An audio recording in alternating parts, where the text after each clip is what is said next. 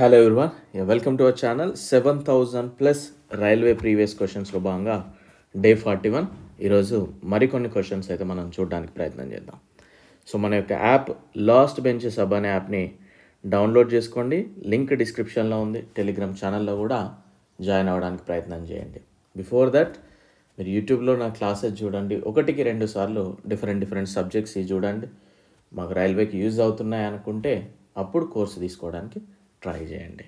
So మన యొక్క యాప్లో present polity GK computers completely అయిపోయింది. ఇక్కడ కంప్యూటర్స్ అనేది మీకు ఎన్టీపీసీలు చాలా తక్కువ portion one or two questions కనుక జస్ట్ పీడిఎఫ్ ఉంటుంది. ప్రింట్కి చాయిస్ లేదు. మీకు chemistry and science school books ఉంది. ఈ ఒక్క రోజు ఈ సండే రోజు మాత్రమే ఫిఫ్టీ పర్సెంటేజ్ ఆఫ్కి ఈచ్ సబ్జెక్ట్ ఫిఫ్టీ ఫిఫ్టీకి ఫిఫ్టీకి ఇవ్వడం జరుగుతూ ఉంది. Chemistry and science ninety five ninety five percent అయిపోయింది. And arithmetic sixty to seventy percent అయిపోయింది. Hundred rupees NTPC and group D course sixty to seventy percent అయిపోయింది.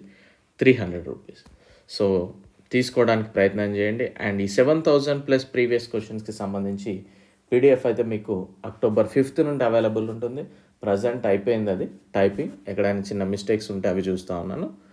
ఓకేనా? రైట్ సో చూద్దాం ఒకసారి. పదిహేడు వందల డెబ్బై మూడు నాటి రెగ్యులేటరీ చట్టం బ్రిటిష్ పార్లమెంట్ ద్వారా ఆమోదించబడింది. ఏ అంశాల ద్వారా ఉన్నాయనేది question. The regulatory act of seventeen seventy three was passed by the British parliament to. East India Company యొక్క ఆధీనంలో ఉన్న భూభాగాల పరిపాలనపై పార్లమెంటరీ నియంత్రణను స్థాపించడం కోసం బెంగాల్ గవర్నర్ హోదాను గవర్నర్ జనరల్గా మార్చడం అదేవిధంగా ద్వంద్వ పరిపాలనను ప్రారంభించడం స్టార్ట్ చేసింది. అంటే ఈస్ట్ ఇండియా కంపెనీ నుండి ఇక వీళ్ళు కమాండ్ చేయడం బ్రిటిష్ వాళ్ళు కమాండ్ చేయడం మొదలుపెట్టారనేది మనం చెప్పొచ్చు. దౌలా మరియు బ్రిటిష్ ఈస్ట్ ఇండియా కంపెనీ మధ్య వివాదం వెనుక ప్రధాన కారణం ఏంటి?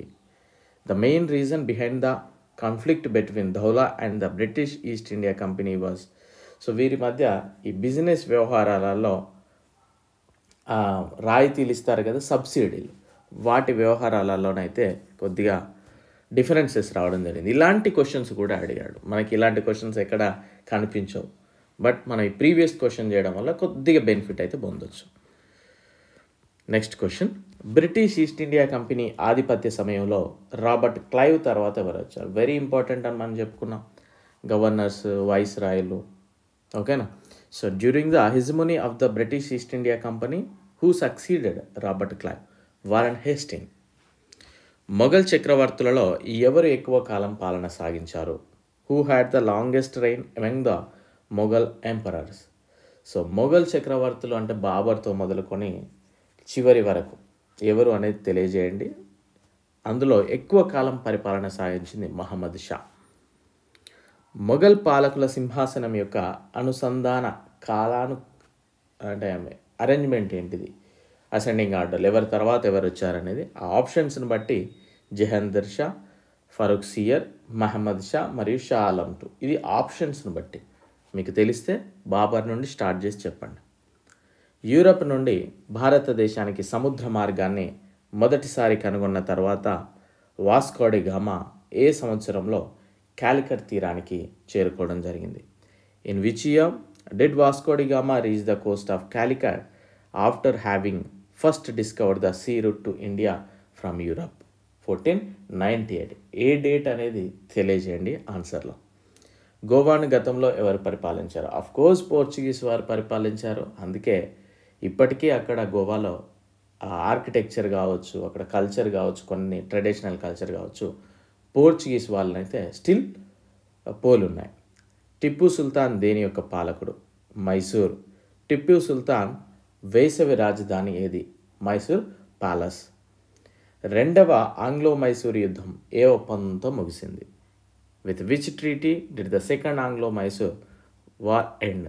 Mangaluru సంధి ఒప్పందంతో ఇదైతే ముగిసింది. ఎవరెవరి మధ్య జరిగిందనేది చెప్పండి. ఔద్ నవాబు ఈస్ట్ ఇండియా కంపెనీపై ఆధారపడేలా చేసిన యుద్ధం ఇది.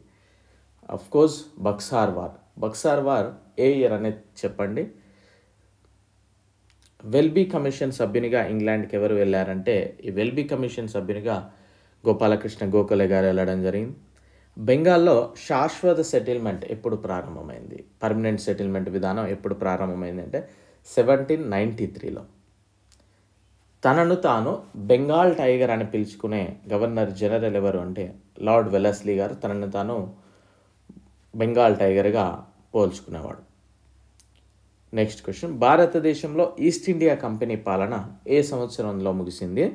మరియు భారతదేశంలో పరిపాలనా నియంత్రణ నేరుగా బ్రిటిష్ కిరీటానికి బదిలీ చేయబడింది. In which year was the East India Company rule in India ended and the control of administration in India directly transfer to the British crown eighteen fifty eight అంటే పద్దెనిమిది వందల యాభై ఏడు సిపాయిల తిరుగుబాటు తర్వాత వాళ్ళు ఆల్మోస్ట్ సిపాయిల తిరుగుబాటును కంప్లీట్లీ అణచివేయడానికి వన్ ఇయర్ పాటు అయితే కాలం టైం పట్టింది.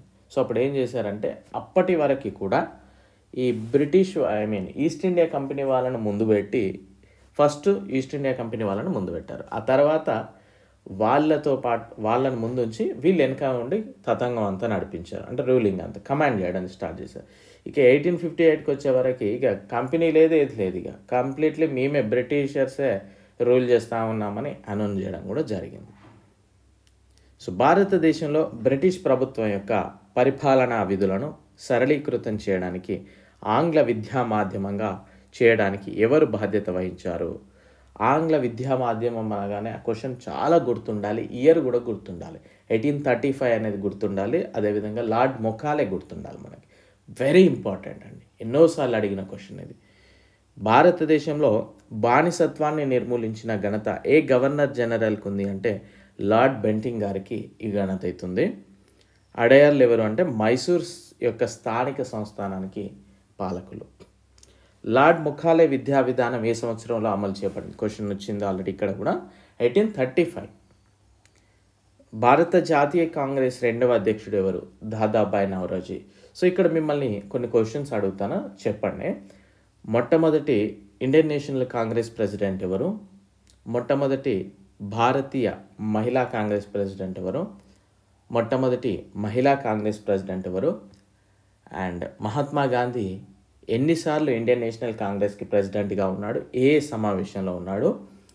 మితవాదులు ఏ కాంగ్రెస్ సమావేశంలో విడిపోయారు? మితవాదులు అతివాదులు? మళ్ళీ ఏ సమావేశంలో కలిసిపోయారు? ఇవి చాలా ఇంపార్టెంట్ క్వశ్చన్స్ అండి. మిమ్మల్ని అడిగినప్పుడు మీరు ఆన్సర్ చేయడానికి ట్రై చేయండి దయచేసి. ఓకేనా? సో చాలామంది ఇండివిజువల్గా క్వశ్చన్ పంపి డౌట్ క్లియర్ చేయండి సార్ అంటున్నారు. వెరీ సారీ ఫర్ దట్ నేను అది ఉంటే క్వశ్చన్ ఉంటే గ్రూప్లో పెడతానేమో కానీ పర్సన్ టు పర్సన్ అయితే చేయలేను. ఓకేనా నేను ఇంకొక టూ మంత్స్ తర్వాత కూడా అసలు రిప్లై కూడా సరిగా ఉండదు కూడా. ఓకే సో రాజా రామ్మోహన్ రాయ్ ఈ రంగంలో తన అసాధారణ పని ద్వారా భారతదేశ చరిత్రలో తనకంటూ ఒక పేరు తెచ్చుకున్నారు. రాజా రామ్మోహన్ రాయ్ అనగానే మనకు గుర్తొచ్చేది సోషల్ రిఫార్మర్ సో సాంఘిక సామాజిక సంస్కరణ సంస్కర్త. భారతదేశంలో సతీ వ్యవస్థ నిర్మూలనలో ఏ బ్రిటిష్ గవర్నర్ జనరల్ కీలక పాత్ర పోషించారు అంటే లార్డ్ బెంటింగర్. బ్రిటిష్ కాలంలో భారతదేశం ఉత్పత్తి దేశంగా పరిగణించబడలేదు ఎందుకు? During the British period India was not considered as producing country because of ఎందుకనంటే బ్రిటిషర్స్ వచ్చింది మన దగ్గర దోచుకెళ్ళడానికే తప్పితే ఇక్కడ ఏదో డెవలప్ చేయడానికి కాదు అనేది అది జగమెరిగిన సత్యం. సో అలాంటప్పుడు ఇది ఎక్స్పోర్టింగ్ కంట్రీ అన్నప్పుడు అన్నట్లు ప్రొడ్యూస్ చేస్తే ఏమవుతుంది కోర్స్ పోటీతత్వం అనేది పెరిగిపోతుంది వేరే వాళ్ళతో సో అందుకే ఇక్కడ కొద్దిగా పాలసీ విధానం అనేది కొద్దిగా అంత ప్రొ ఏమంటారు ఎక్స్ప్లోర్ చేయలేకపోయారు. అలా చేయకుండా ఉండాలని ఆ పాలసీ విధానాలు కొద్దిగా కఠినంగానైతే ఉండేది నెక్స్ట్ క్వశ్చన్ పద్దెనిమిది వందల యాభై ఏడు తిరుగుబాటు సమయంలో అంటే సిపాయిల తిరుగుబాటు సమయంలో భారతీయ మధ్యతరగతి వ్యక్తులు ఎలా ఉన్నారు? అంటే వాళ్ళు న్యూట్రల్గా ఉండడం జరిగింది. సో అప్పటికే ఇంకా స్వాతంత్రకాంక్ష ఇంకా ఎక్కువ రగలలేదు. బట్ ఇది చాలా మొదటి స్వాతంత్ర సంగ్రామంగా చెప్తా ఉంటాం మనం. పద్దెనిమిది వందల యాభై ఏడు సిపాయిల తిరుగుబాటు. బట్ అప్పుడు మిడిల్ క్లాస్ ఫ్యామిలీ వాళ్ళు మాత్రం కొద్దిగా న్యూట్రల్గానైతే ఉండడం జరిగింది. Middle classes. ఓకే? సో ఇది ఈరోజుకి రోజుకి సంబంధించిన క్వశ్చన్. ఇవి మీకు అక్టోబర్ ఫిఫ్త్ నుండి మీకైతే పెట్టడం జరుగుతుంది. సో ఫాలో అవడానికి ప్రయత్నం చేయండి. I wish you very good luck. Thank you.